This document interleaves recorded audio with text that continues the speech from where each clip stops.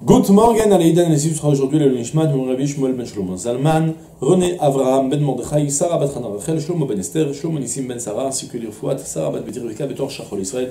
Si vous souhaitez aussi dédier une prochaine étude de Mishnah, que vous 5 minutes éternelles, nous étudions Masechet Menachot Perikul de l'Ef Mishnah Tet.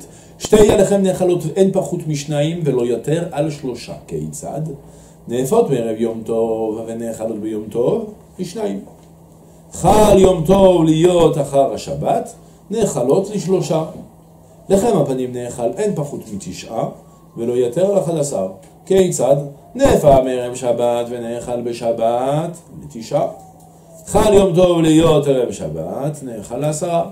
שני ימים טובים של ראש השנה, נאכל לאחד עשר. ואינו דוחה לא את השבת ולא את יום טוב. הבן שמעון בן גמליאל אומר, משום רבי שמעון בן הסגן, דוחה את יום טוב ואינו דוחה את יום צום. On va conclure dans cette Mishnah le sujet des Shte Alechem et du Lechem Apanim. Shte Alechem, c'est les deux pains que l'on fait à Shavuot, les euh, Minchad Bikurim de. les Lechem Bikurim, la Torah appelle ça, les pains, les prémices des pains. Ouais, à le deuxième jour de Pessah, le 16 Nissan, on a apporté la Minchat à Omer, d'orge, avec la nouvelle récolte. Ça a permis à l'ensemble du peuple de manger les nouvelles récoltes des cinq céréales. Et puis, ensuite, à Shavuot, maintenant, au Beth on n'avait toujours pas le droit d'apporter la nouvelle récolte, jusqu'à Shavuot, on allait faire deux grands pains, comme ce qu'on a appris, deux grands pains carrés, cubiques. Euh, et on les, donc il y avait tout un rituel de les balancer, puis ensuite, on pouvait apporter de nouvelles récoltes au Beth donc c'était le Lechem Bikoul. Et les, et les 12 pains, c'est le Lechem Apanim du Shabbat, la voda spéciale du Shabbat avec les 12 pains. Le but de notre Mishnah est de nous dire, de nous faire un peu d'ordre. Regardez, ça va être facile. Les deux pains, ils, sont, ils, ils seront consommés au minimum deux jours après leur préparation. Pas moins que deux. Veloyater al shlosha, et pas plus que trois jours de préparation. Je continue tout de suite, après on fera de l'ordre. Keitzad, comment est le cas? Nefot me'erev yom tov, ve'nechalot be'yom tov, une fête de Shavuot classique, où donc on va pas pouvoir les faire cuire pendant Yom Tov. Donc on va, on va les faire cuire depuis la veille de Yom Tov. Donc ça fait la veille de Yom Tov, c'est le premier jour. Et le jour de Shavuot va être le deuxième jour. Donc l'Ishnaïm, ils sont mangés, ils sont consommés le deuxième jour. Chal Yom Tov liot achara Shabbat. Si toutefois la fête de Shavuot tombe à Motse Shabbat, comme c'est fréquent, c'était le cas cette année aussi, je crois, alors, alors dans l'année passée, donc, il y avait, on a eu Shabbat et après Shavuot. Or, à Shavuot, le soir de Shavuot, tu ne peux pas cuire les pains. À Shabbat, tu ne peux pas cuire les pains. Donc, tu vas les faire cuire depuis quand? Depuis le vendredi pour le surlendemain. Donc, ça fait vendredi, samedi et dimanche. Trois jours. Donc, Nechalot Lishlosha, ils seront consommés le troisième jour. Et je continue tout de suite sur le Lechem Apanim, comme ça on fera de l'ordre les deux en même temps. Lechem Apanim, Ne'echal en pachot mitisha. Maintenant, on va s'occuper du lechem apanim. Vous avez compris le principe, ouais, c'est très simple. On s'inquiète, on se soucie de savoir à combien de jours après la cuisson du pain, les pains seront-ils consommés? Soit on ne peut pas les, les, faire cuire pendant Yom Tov, on ne peut pas les faire cuire pendant Shabbat. Donc selon le cas, c'est soit la veille de Yom Tov, ou soit l'avant-veille du Yom Tov, parce que la veille de Yom Tov c'était un Shabbat, donc on ne pouvait pas faire cuire, donc il fallait un jour auparavant, donc ça fait que le pain sera consommé trois jours après. Idem avec le lechem apanim, cette fois-ci, pour rappel. Lechem apanim, la avoda, elle était de le faire, de le poser le Shabbat pour les consommer le Shabbat suivant. Donc on a déjà 8 jours avec, maintenant, puisqu'on ne peut pas les préparer pendant Shabbat, alors on les fait la veille du Shabbat. Donc de manière générale, ils sont consommés le 9, le 9 jours après, 9 jours après la cuisson, puisqu'on le fait vendredi pour le Shabbat d'après. On compte le vendredi, ouais, qu'on compte les jours. Vendredi, c'est le premier jour. Le Shabbat d'après, c'est le deuxième jour. Et vous rajoutez 7 pour le Shabbat qui va arriver ensuite. Ça va vous faire 9. Si toutefois ce vendredi-là, c'est un Yom Tov, alors faites le calcul, il va falloir le faire un jour auparavant, donc ça va être, il va être consommé dix jours avant. Et si il y avait deux jours de Yom Tov, c'est-à-dire parce que c'était Rosh on ne savait pas quand les faire cuire, comme ce qu'on expliquera ensuite, vous avez compris le principe, donc il va le faire depuis l'avant-avant-veille. Donc il sera consommé à 11 jours, c'est ce que la Mishnah m'enseigne.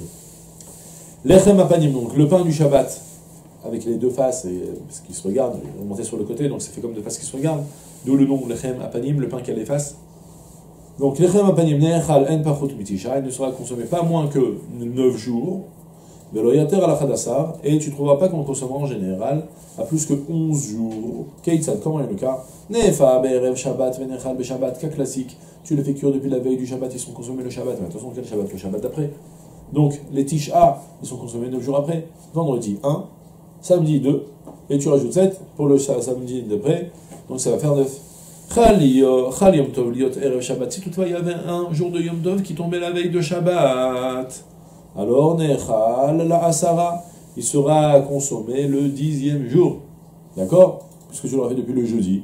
Jeudi, vendredi, samedi, ça fait 3. Et tu rajoutes 7 pour la semaine d'après, ça fait 10. Shneemim Shel Rosh Hashanah. S'il y a eu deux jours de Rosh Hashanah, alors Nechal le Achad Asar.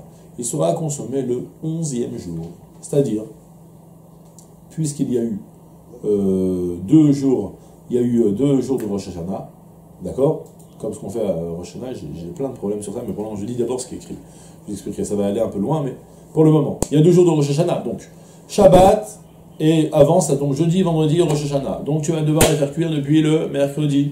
Donc tu comptes mercredi, jeudi, vendredi, samedi, ça fait 4. Tu rajoutes 7 pour la semaine d'après, pour 7 jours d'une semaine entière, un cycle d'une semaine. Donc ça va faire 11, donc le pain va être consommé le 11e jour.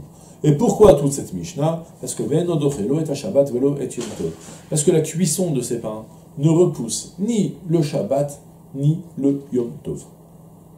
Ok? Et une halakha. Vous savez bien qu'à, d'abord, premièrement, à Shabbat, on ne transgresse pas le Shabbat même pour cuisiner. Il est vrai que pour la vodote du Beth Amikdash, la Torah a en général permis de faire la vodote même le Shabbat.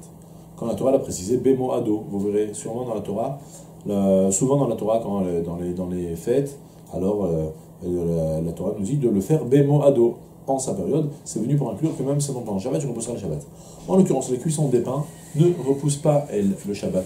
Puisqu'elles ne repoussent pas le Shabbat, alors, euh, donc, ça ne repousse pas le Shabbat, donc euh, donc tu dois le faire forcément depuis la veille du Shabbat. Mais que ça, ne repousse même pas le Yom Tov et même pas le même jour du Yom Tov. Pour quelle raison? Euh, Très simple. Il y a Yom Tov, c'est vrai qu'on a le droit de cuisiner, mais on a le droit de cuisiner que ce qu'on commence pour, que ce qu'on va consommer pour nous. La Torah insisté, lachem yel là. Pour vous, vous pourrez faire cuire pour ce que vous avez besoin. C'est vrai qu'à Yom Tov, on a le droit de faire cuire, on a même le droit de faire du pain. Mais c'est que pour vous ce que tu vas manger aujourd'hui. Tu n'as pas le droit de faire du pain à Yom Tov pour le manger après. Tu n'as pas le droit de faire du pain à Yom Tov même pour le donner à un goy. La Torah a permis de repousser, de faire de cuisiner à Yom Tov que pour le besoin d'un Israël pour le jour de fête.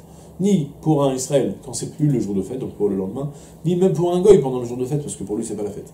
D'accord? Selon le même principe, regardez, même cuisiner à Yom Tov pour le Beth Amikdash, c'est interdit parce que la Torah a dit lachem et pas au Hekdesh.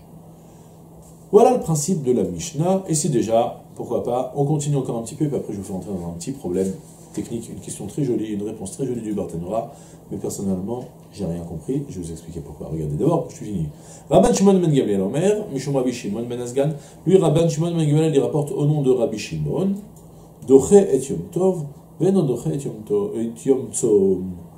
Le, la cuisson des pains repousse le Yom Tov, mais ne repousse pas le Yom Tzom, ne repousse pas un jour de jeûne, c'est-à-dire le jour de Yom Kippour. Il est en train de nous dire à Ben Shimon quelque, euh, quelque chose de très simple. Il est en train de te dire, bah, sache que si toutefois c'est tombé un jour de... Donc, il y avait la veille de Shabbat, c'est un jour de Yom Tov, on a dit nous que tu dois faire cuire le pain depuis l'avant-veille, depuis le jeudi ou depuis même le mercredi quand c'est deux jours de Rosh Hashanah eh bien, Rabban Shimon va dire non, c'est pas la peine, tu le fais cuire juste avant Shabbat, il n'y a pas de problème. Pourquoi? À Shabbat, tu as le droit de, à Yom Tov, tu as le droit de repousser. On repousse Yom Tov pour préparer les préparatifs du Shabbat, et en l'occurrence, ça repoussera le Yom Tov. Donc tu pourras le faire cuire le vendredi après-midi. Par contre, il y a quand même une fois où le pain ne sera pas consommé parce qu'il a été cuit depuis la veille de Shabbat, c'est le cas où c'est tombé Yom Tov, le jour de Yom Kippour, cette fois-ci, Yom Kippour, tu cuisineras pas pour Shabbat, le Shabbat d'après, quoi. Donc tu devras te faire cuire avant, avant Yom Kippour. C'est-à-dire, si je résume selon Rabban Shimon ben Gamliel, au nom de Rabbi Shimon ben Asgan, il s'avère que, euh, de manière générale, le pain, il est toujours cuit, consommé 9 jours après la cuisson, sauf un cas particulier, c'est quand il y avait Yom Kippour qui est tombé un vendredi, de ce fait, on fera cuire le pain depuis le jeudi. Voilà pour la fin de la Mishnah, et on a même très bien expliqué les raisons en route, qu'on n'a pas le droit de faire cuire pendant une tov et tout ça. Il y a un problème original, très joli, une belle question qui est posée dans, dans le Barthénois, c'est un agma en fait, que par rapport au Rosh Hashanah. C'est-à-dire, on t'a dit, si toutefois c'est tombé à Rosh Hashanah, si toutefois il y avait Rosh Hashanah qui est tombé, les deux jours de Rosh Hashanah sont tombés avant le Shabbat, alors tu dois faire depuis l'avant-avant-veille, depuis le mercredi après-midi. Pourquoi? Parce que je t'ai dit que tu ne repousses pas le Yom Tov pour cuisiner. Donc tu ne reposes pas Yom Tov. Et tu as deux jours de Yom Tov. Donc tu dois faire depuis le mercredi. Donc en fait, je, résume encore une fois ce qu'on vient d'apprendre. Il y a marqué que le mercredi après-midi, tu vas faire cuire le pain que tu vas manger pour le Shabbat d'après. D'accord? Parce que tu ne pourras pas le faire cuire ni pendant le jeudi, ni le jeudi, ni le vendredi. Donc il sera consommé euh, le Shabbat d'après. D'accord? Il y a un problème technique. C'est que si Rosh Hashanah est tombé un jeudi, on va se retrouver avec le Shabbat d'après, que ce sera Yom Kippour. Et si c'est Yom Kippour, on n'a pas le droit de manger les pains au Beth Yom Kippour. On avait appris dans la mission précédente, c'était mentionné, qu'il faudra les manger à la sortie du Shabbat. Donc ce ne sera pas le 11e jour, ce sera le 12e jour. Vous avez compris? Question très pertinente. Ouais, soulevée par l'agma, et l'agma va donner une réponse bateau. Mais d'abord, je, je, reprends encore une fois. Toujours le pain, on fait la voda, on le met sur la table du Beth le Shabbat, pour le consommer le Shabbat d'après. Question technique. Quand Yom Kippour tombe le Shabbat d'après, qu'est-ce qu'on fait? On ne va pas le consommer le Shabbat, on va le consommer à la sortie du Shabbat. D'accord? Mais dans la Mishnah, elle vient de me dire, mais tu sais, il y a des fois le pain où il va être consommé 11 jours après la cuisson. Quand? Parce qu'il y a eu deux jours de Rosh Hashanah, donc tu as dû le préparer depuis le mercredi après-midi. Donc, on se retrouve mercredi, jeudi, vendredi, samedi 4, plus 7, ça va nous faire 11. Le compte est bon, on est arrivé à 11 jours. Sauf qu'il y a un problème, c'est que si Rosh Hashanah est tombé un jeudi, eh bien, il s'avère que le dixième jour, le 10 Tishri, va tomber un Shabbat. Donc le pain, il va être consommé le et Shabbat. Donc il va être consommé le douzième jour après la cuisson. Comment la Mishnah m'enseigne qu'il est consommé le onzième jour après la cuisson C'est la question qui se lève par rapportée dans le Barthénois. Et la réponse qui est rapportée, elle est très simple aussi. Elle va me répondre en me disant non. Euh, il y a une règle dans les Kodshim que la nuit d'après va selon le jour qui précède. C'est-à-dire, de manière générale, toujours dans la Torah, le jour commence depuis la nuit et se continue le jour. Là, on, est, on a fini Shabbat. Maintenant, c'est dimanche, c'est Yom Rishon, même si on est le soir. Motzei Shabbat, c'est déjà Yom Rishon. La nuit va selon le jour qui suit. Au Beth il y a une règle différente. C'est qu'on compte les jours quand on parle de. On compte toujours la nuit d'après qui va selon la journée d'avant. C'est normal, on offre un corban en journée, on peut le consommer durant toute la nuit qui suit. Donc c'est vrai, donc c'est pour ça qu'on a utilisé le 11e jour, parce que réellement c'est le 11e jour, même si selon le calendrier, ça s'appelle le 12e jour. D'accord? Sur ça, j'avais un problème technique que. J'ai pas vu qu'on en parle apparemment, parce que peut-être j'ai pas étudié la Gemara, je suis pas encore arrivé dans Menachot là-bas, je suis quelques en arrière, je suis encore dans la à une bête, à une guimelle, donc c'est, on est bien en arrière, je suis encore en arrière. Mais j'ai un problème technique dans cette Gemara, parce que deux jours de Rosh Hashanah, ça arrivait comment au Beth Amikdash Dans quelle, quelle configuration? Vous savez bien, pourquoi est-ce qu'on fait deux jours de Rosh Hashanah, nous, aujourd'hui? Parce qu'à l'époque du Beth Amikdash, Rosh Hashanah dans la Torah, c'est un seul jour. C'est soit y a, on commence, c'est un jour un peu particulier, on commence le 30, le 30 Elul, on démarre la journée et puis on reste un petit peu en stand-by. On ne sait pas ce que ce jour-là. S'il y a des témoins qui vont venir, qui vont nous dire qu'ils ont vu le renouvellement de la Lune, ce jour-là va être fixé comme Rosh Hashanah. Si les témoins ne sont pas venus, alors on va reporter ça au deuxième jour, au jour suivant. D'accord? C'est-à-dire les témoins ne sont pas venus, donc il s'avère que la première journée, elle sera fixée comme un jour, finalement, c'est un jour de rôle un jour profane complètement, et le jour d'après, ce sera le jour de Ça, c'est en théorie. Maintenant, à cause de problèmes qui se sont passés, les Chachamim ont été qu'on fera le deuxième jour, on fera les deux jours de fête. On fera deux jours de fête, donc du coup, c'est resté que nous aussi, on fait aussi deux jours de fête. Mais concrètement, une chose de sûre, c'est que si les témoins sont venus le premier jour, il s'avère qu'il y a eu un seul jour de Rosh Et si, donc s'il y a eu un, c'est-à-dire la configuration en fait d'avoir deux jours de Rosh Hashanah, elle, euh, j'ai du mal à comprendre comment elle se produisait au Beth Amikdash.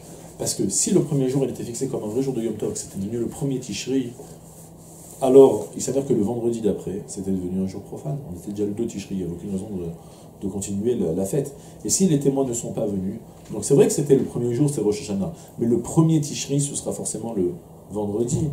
Et donc, le Yom Kippour tombera le, dimanche suivant. Vous avez compris mon problème technique que j'ai, donc du coup, je suis un peu paumé.